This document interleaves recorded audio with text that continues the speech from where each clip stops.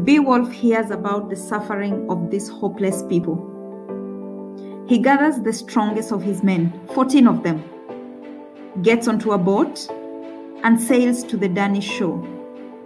When they arrive, the watcher takes them to go and meet King Hrothgar.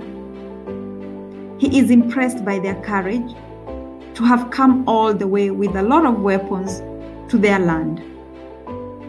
Beowulf explains that they have come to help to purge all evil from their hall.